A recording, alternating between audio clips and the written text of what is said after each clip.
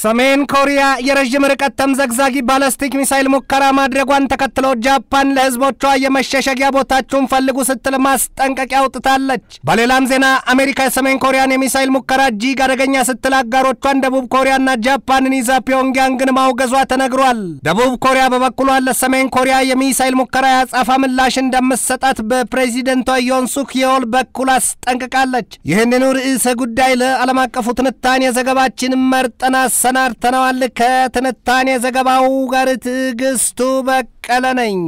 የሰሜን ኮሪያ የውጭ ጉዳይ ሚኒስቴር ባወጣው መግለጫ ሩሲያ በቅርቡ በአራት ግዛቶች ያደረገችውን ህዝበ ውሳኔ አጣጥመን እንደግፈዋለን ያለው እንደ መግለጫው ጥልቅ ሀተታ ለሩሲያ ቁጣ መገንፈል ዋናዋ እሳት ቆስቋሿ ቢሉ ለኳሿ አሜሪካ ናት። አሜሪካ የሰሜን አትላንቲክ ጦር ቃል ኪዳን ድርጅትን በዚያ የምስራቅ አውሮፓ ባልካን ቀጠና እንዲስፋፋ ስደፍጣ መቀለቧ ሩሲያን የሚጋፋና ክብሯን የሚነካ ነውና የሩሲያ ቁጣ የሚሆነው በዩክሬን ላይ ጦሯን ማዝመቷ እንዲሁም በአራቱ ግዛቶች ህዝበ ውሳኔ ማድረጓ ፍጹም ትክክለኛ እርምጃ ነው ስትል ፒዮንግያንግ በጦፈ ፈገግታ ጨብጭባላታለች። ከሩሲያ ጎን እንደምትቆምም አስታውቃለች። የሰሜን ኮሪያ መሪዎች በዚሁ የአሜሪካ ግብር እየሰራቻቸውን እያሰቡት ትክትክ ግንፍልን ያሉት እናም ይላሉ የዚያች ሀገር ጎምቱ ጎምቱ ባለስልጣናት ሩሲያና ቻይናን ተከትላን የዚያችን ሀገር የትዕቢት ውጥረት እናረግበዋለን፣ ግለቷንም በረዶ እናደርገዋለን ቦ ጊዜ ለኩሉ ሲሉም ነው የዛቱት። ፒዮንግያንግ ከዋሽንግተን ባለስልጣናት ቀጥሎ በአውራ ጥፍር ቆማ በቀን ላይን የምታያቸውና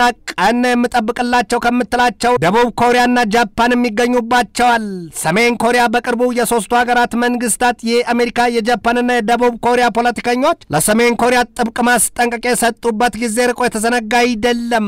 በሰሜን ኮሪያ የውጭ ጉዳይ ሚኒስቴር የዓለም አቀፍ ድርጅቶች ዋና ዳይሬክተሩ ጆ ኮልሱ በሰጡት ማብራሪያ አሜሪካ በሰው ሀገሬ ውስጥ ጉዳይ ጣልቃ እየገባች የራሷን የበላይነት ስትገነባ የሚያም የሚቆረቆረው ቀርቶ የሚታወቀው ሀገር አለ ብላ አታስብም። እኛም ለራሳችን እናውቃለን። ሩሲያ በአራቱ ግዛቶች ያካሄደችው ህዝበ ውሳኔ ትክክለኛና ህጋዊ ነው ሲሉ አብራርተዋል።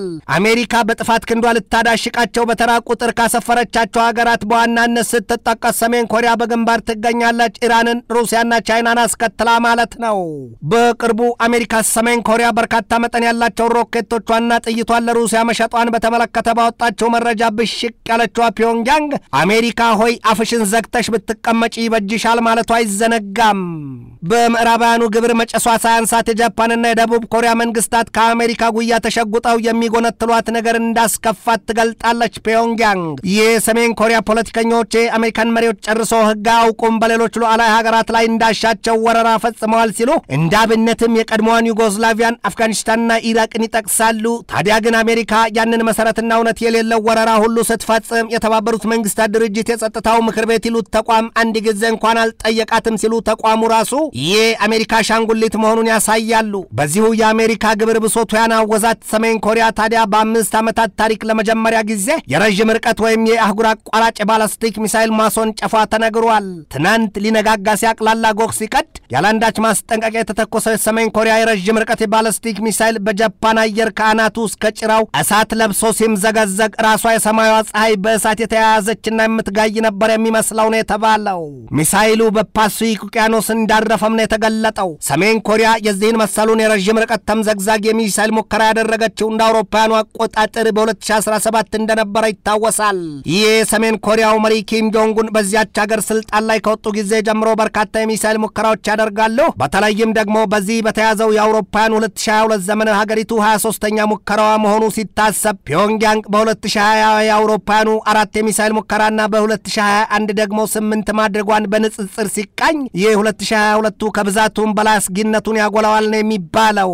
የጃፓንን ባለስልጣናት ወገባሽ መድምዶ የእንግላል የጣለውና በተቆራረጠ የድንጋጤ ድምፅ መግለጫ ያሰጠው ሰሜን ኮሪያ ትናንት ማለዳ ላይ ያስወነጨፈችው የባላስቲክ ሚሳይል ሽቅብ በህዋው ዓለም በ1000 ኪሎ ሜትር ከፍታ ጨሶ አግድም ላግድም ደግሞ ከድምፅ ፍጥነት በ17 ጥፊው እያለ 4600 ኪሎ ሜትር ወይም 2858 ማይሎችን ከመጮሁ ማደባየቱ ይታያል ነው የተባለለት። አሜሪካ ከእስያ አህጉር የምትዋሰንበት የውሃ አካል ድንበሯ ጓም ከሰሜን ኮሪያ የሚርቀው በ3380 ኪሎ ሜትር ነው። አሁን እንግዲህ ሂሳቡን ማስላት እንኳንስ ለአሜሪካና ለሰሜን ኮሪያ መሪዎች ቀርቶ ይህንን ዜና ለሚሰሙ ሁሉ አይከብድም።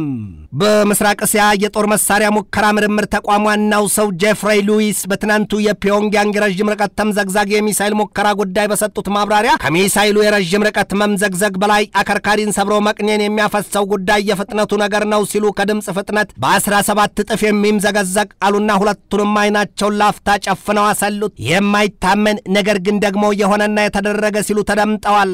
ሰሜን ኮሪያ የሚሳይል ሙከራ በተደጋጋሚ ብታደርግም ታዲያ የሚሳይሉ ማረፊያ ከኮሪያ ልሳነ ምድር የውሃ ጠረፋ አልፎ አያውቅም።